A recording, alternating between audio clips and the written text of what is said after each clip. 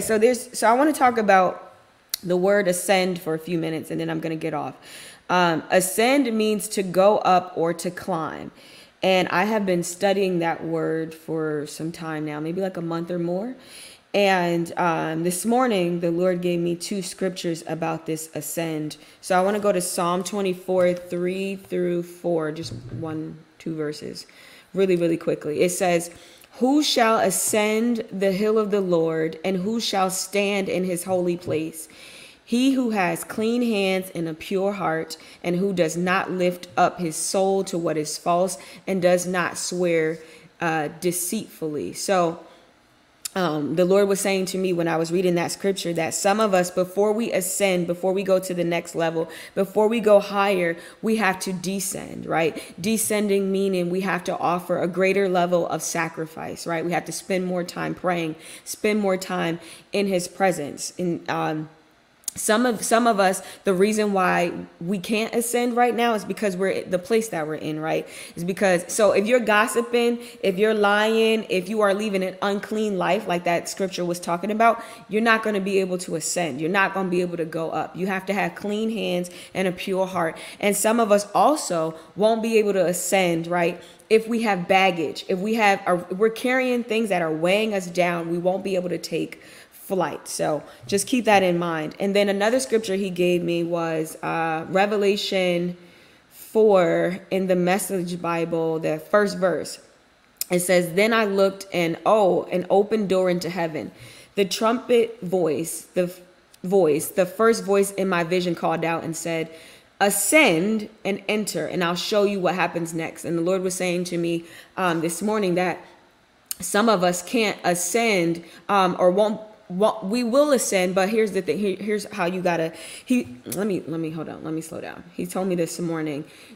When you ascend right you have to ascend spiritually so you can see what's next. So for anybody that's kind of been like stuck and you're like, God, what's next for me? Why isn't it happening? He's saying you got to ascend. You got to come up higher. Some of us are too low. That's why the enemy can attack us where we are because we are too low. But you think about, and I talked about this some weeks ago, the eagle and the snake, right? When they are in a battle, the eagle, eagle and the snake, when they are in a battle, the eagle comes down, takes that snake up to another realm because the eagle knows that out of that element the snake can't has no power. It can't do anything. If i take that snake and bring him 10,000 feet upward it can't do anything right? So the eagle will have the advantage. And that's how we got to do. When the enemy is throwing darts at us we don't fight him on the same level. We don't fight him on ground level. We take him up into that spiritual realm and that's where we fight and that's where it comes in with prayer. It comes in with fasting and doing things of the spirit so just make sure that. And there's a couple things he said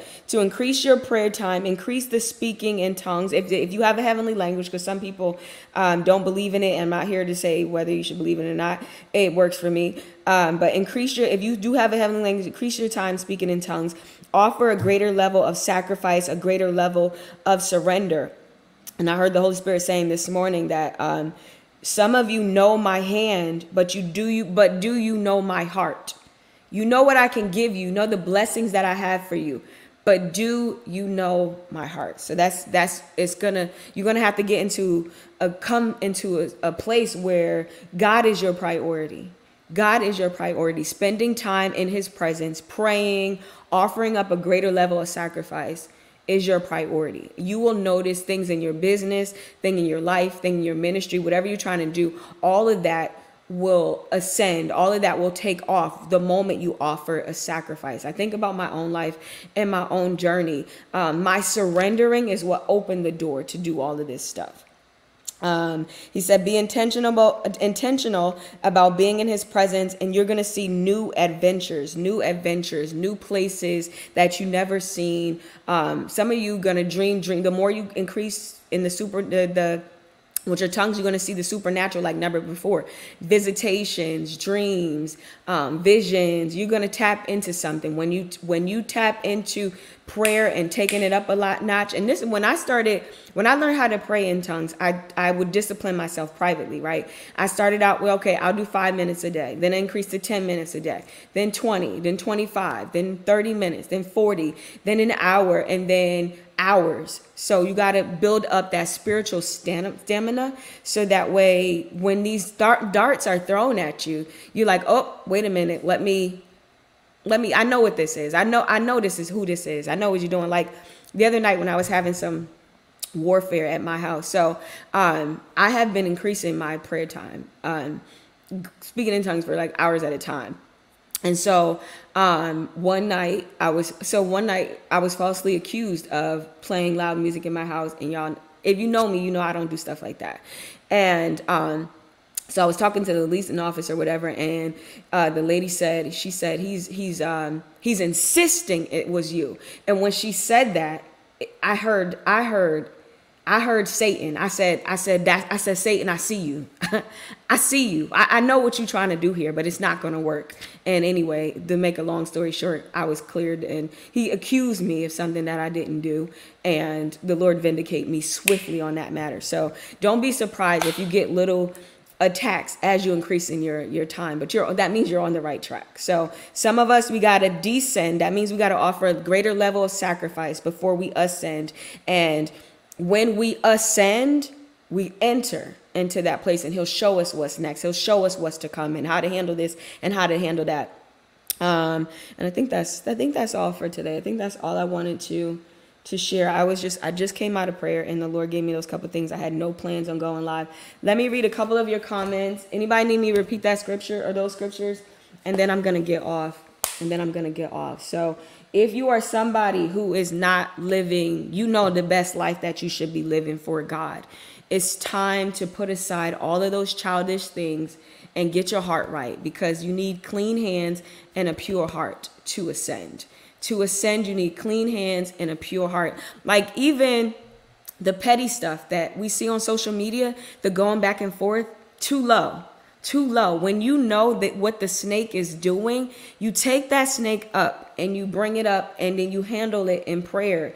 You handle it in the spirit. You don't don't fight the snake on the same level because that makes you on the same level as the snake. And we're not doing that. I told y'all when I was going through betrayal, um, the Lord was very specific because every time I got online, I saw people that I was cool with talking, right?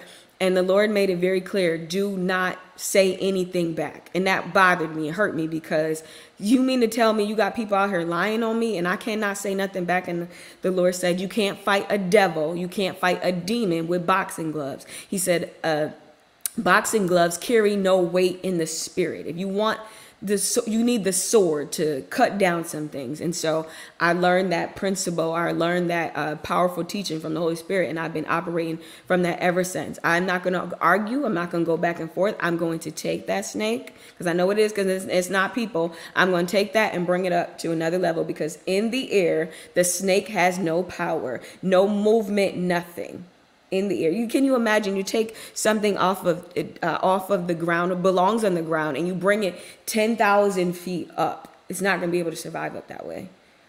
Clean hands and a pure heart. I seen somebody said, repeat the scripture. It was Psalm 24, 3 and 4.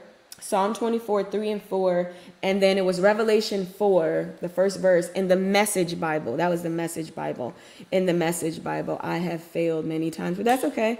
That's okay. Now you know. You get back on track. Now you know. Now you know. Now you know. You want to tap into the supernatural, you have to ascend. That starts with your prayer life, your fasting, your sacrifice. However, you get in the presence of the Lord, you got to continue on that way. You got to continue on that way. Continue on that way.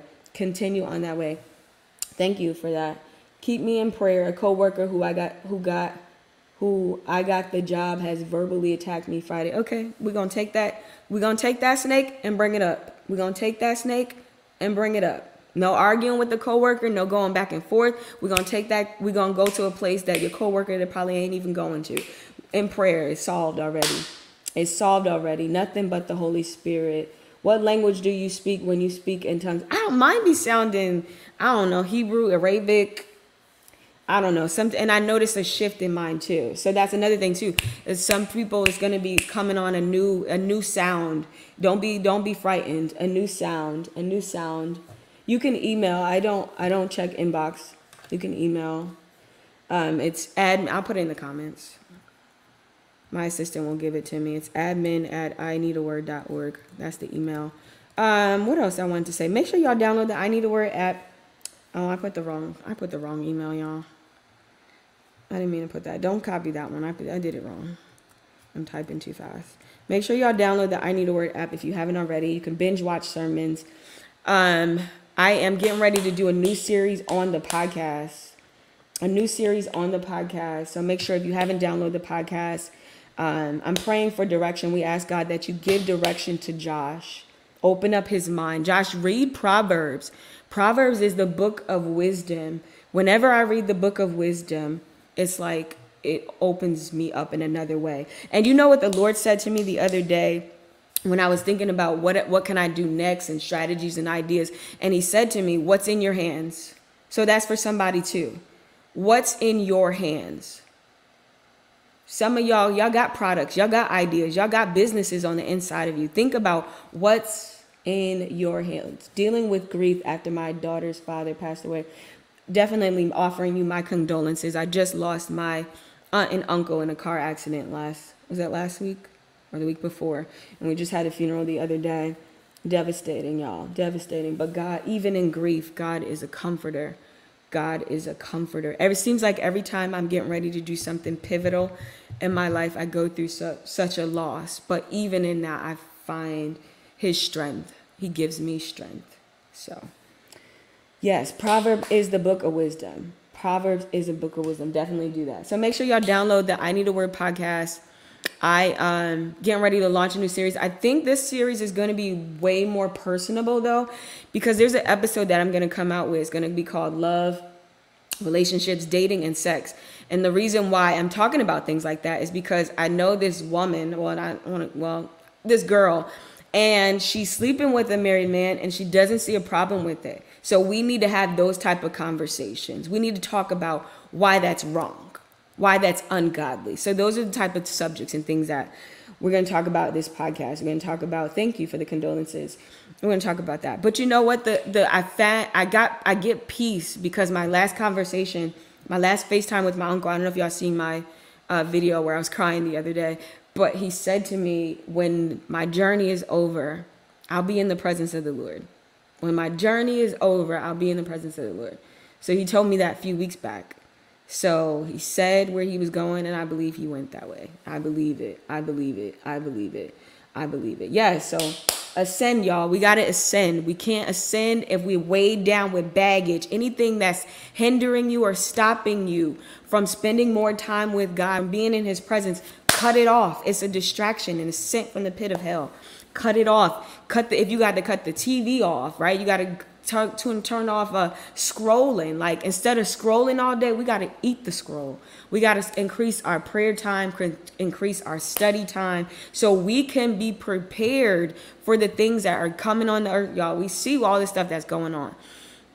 I won't be surprised if they try to say we can't uh we we eliminate we're trying to eliminate Bibles. So you want to make sure you have it here.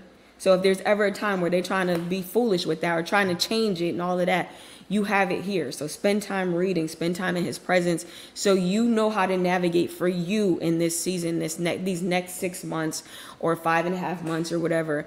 You know how to navigate you know how to navigate. Speak life over your children. I saw that the other day too. The minds of children because the enemy wants to keep them on this all day on these apps and these games and they're settle they're, they're not even settled no more. They they putting little stuff out there that's just ungodly and to get these kids addicted and get them on there all day and all night and whispering little things in their ear and kids are just picking up this strange stuff. So be very careful with that. I remember the other week i was scrolling on tiktok and this man said that he was he's a children's author. He's a, he writes children's books and he read them so I'm like, okay, let me see what he's talking about. He was talking about dead babies and a mom cheating on the dad and the mom starting an OnlyFans account. Like it was utter foolishness. Utter foolishness. And he had about four or 5,000 people on there watching and young kids. And they think that this stuff was funny. It was just, it was disgusting. It was disgusting. Like I wish TikTok would remove him off of there for calling himself a children's author because there's no way. There's no there's that that book those books he had a series of them are not for kids. Are not for kids. Are not for kids. It's just disgusting. And I was in Target yesterday and you know they got this whole pride section and um, i was walking by and i seen a kids book so i'm like what book is this and it, it said um, what did it say it says we're something hold up i got it right here because i took a picture of it at least i thought i did oh it says bye bye binary nobody put baby in pink or blue nobody puts baby in a pink or blue corner so, yeah, enough said that. I'll post that too so y'all can see it. But yeah, so that's kind of where the world is trying to go. Like everybody's loud and proud about what they believe in. We got to be the same about our truths and the truth, the truth. So my kids are not on social media. I think that's smart. I think that's absolutely smart. Um, you just, you just got to be careful. You can't let social media raise your kids. When I was a kid, we went I like my knees could show you my legs are horrible because I was outside riding bikes, falling and just being a kid. Now kids don't go outside no more. They don't go outside no more. They don't go outside no more. I would pray on that situation, okay? I would give that whole situation to God and ask the Holy Spirit how to navigate through that because it's we we wrestle not against flesh and blood, right? So we the Lord can turn the heart of any king my baby dances to worship music. Oh, so cute. So cute. All right, y'all. I'm not going to be on here much longer. Just make sure y'all download the podcast. If you're a younger woman and you are into podcasts and things like that, download that because you're gonna. I'm gonna do something different with that. I want to be able to um, to talk about things that we should talk about. Um, and I think one of the episodes I was talking about how there needs to be more diversity in church world and I know that's gonna ruffle some feathers, so I ain't even gonna get into that. But I was talking about things like that. So things like that, and so the podcast will air on Friday nights. I think around nine um, on like social media, but you can actually download it on that Friday at like 12 p.m. ish. So I'm gonna start that, and I'm also gonna open up the door, like or not door, but open up like where people can, if you want to write in and ask questions, and I can answer them live, we can do that. Um, the name of the podcast is called I Need a Word. Yeah, this is going to be saved. It's called I Need a Word. Thank you. It says Jesus is essential. Where in Psalms? It was Psalms 24, 3 through 4. Psalm 24, 3 through 4. The other one was Revelation 4 in the Message Bible. In the Message Bible. In the Message Bible. And we have to also look at it too. Like, the intention of social media, social media and casinos, and I gotta be careful because they're probably gonna drain the reach for this, but I don't care. Social media and casinos were built to do the same thing, which is get people addicted. Um, and so you see, you ever get on here and then you like one thing and you keep seeing more things like that, or you're watching a video and they'll say three seconds to the next video because they want to keep you on here longer. It's all a game. They know what they're doing. When is the date for your pre-order of your book? You know what? It's um it was supposed to be Friday, but I have it now, so I'll drop it in the comments. Um so yeah, my book y'all finally is getting ready to drop. Is dropping it pre-order. We can pre-order it now on my website, but if you pre-order it, it's going to be shipped out on my birthday, which is August 8th. So anybody who orders it I guess within the next month or so, you're gonna get my you're gonna get the book and a free shirt to come with it, and you're gonna be able to um, to watch the documentary in a private Zoom with me and um, and uh, yeah, with me. So the scripture was Psalm 24, 3 through 4, and Revelation 4 in the Message Bible. In the Message Bible. In the Message Bible. In the Message Bible. So, yeah, so the book is basically about my journey growing up and having nothing and God using me to be a trailblazer in my family and then having I Need a Word and some of the struggles that I've gone through in I Need a Word. I talk about, um, it's called Girl Behind the Brand, the story of a Christian influencer. Um, it's not on Amazon yet, it will be, but I wanted to put it on my site first to offer the t shirt with it. So whoever gets it um, gets it with the free t shirt and then um, and then uh, the uh, the screening of the documentary. The screening of doc. Yeah, so it's been a long time coming, but it's going to talk about my journey with I Need a Word and the hardships that I went through and some of the warfare, um, the warfare that comes along with being an influencer. So I pray that it blesses everybody. It, I wrote it like a year or so ago and went through so much warfare just to be able to drop the pre-order. So we just gonna trust God on this one. But I, I'm grateful for it. I'm grateful for it because I'm gonna give y'all one more story, then I'm gonna go. The I this is my second book, right? So my first book was a marketing book. But at the time when I dropped that marketing book, and it's on Amazon too. At the time when I dropped that marketing book, I was hanging around the wrong people. And so they I allowed people to speak negatively into me. And I was I didn't like how I looked on the cover of the book. Like it made me so insecure listening to somebody else. Somebody was projecting their insecurity off on me and I took it as wisdom. And so I never really promoted the books book. So this one is special because I don't care what devil in hell says anything about this book. I'm doing it because I was instructed.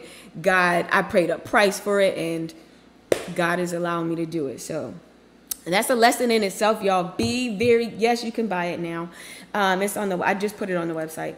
Um, be very careful who you let speak into your ear. It can cost you your destiny. Be very careful. Be very careful. Be very mindful of the people you let speak into your ear, especially when you have something big on the inside of you that you know God told you to launch and God told you to do. Be very careful because I took it I took demonic wisdom from somebody who didn't even have a book for somebody. And, and, you know like it was just and it was all good. It was all good. Like our friendship our relationship was all good when I when I went when I wasn't winning.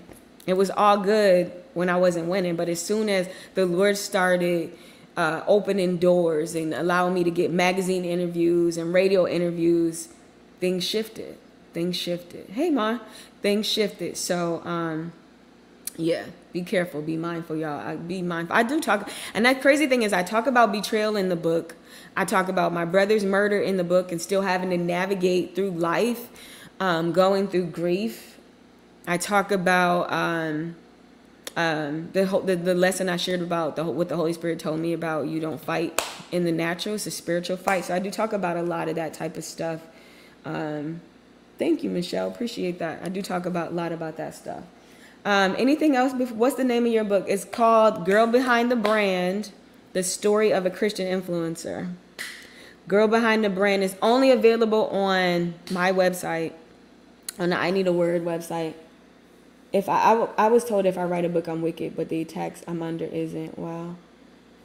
Yeah, don't let nobody. If the Lord, if the Lord tells you to do a thing, I don't care what outside voices say. It don't matter. You don't matter. It's what He says.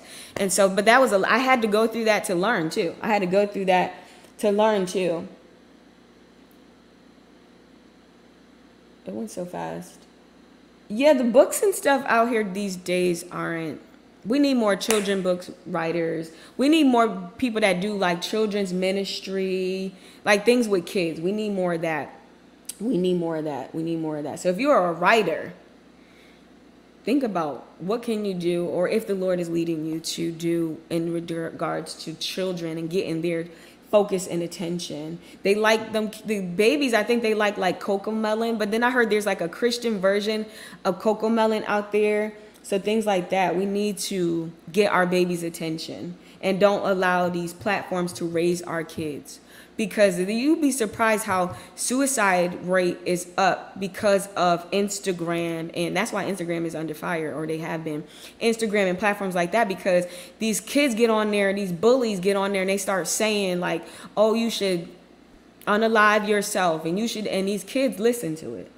You, these kids listen to it, so you got to be very, very, very very careful, y'all. Very careful. Love these kids. Pray over them. Speak life over them.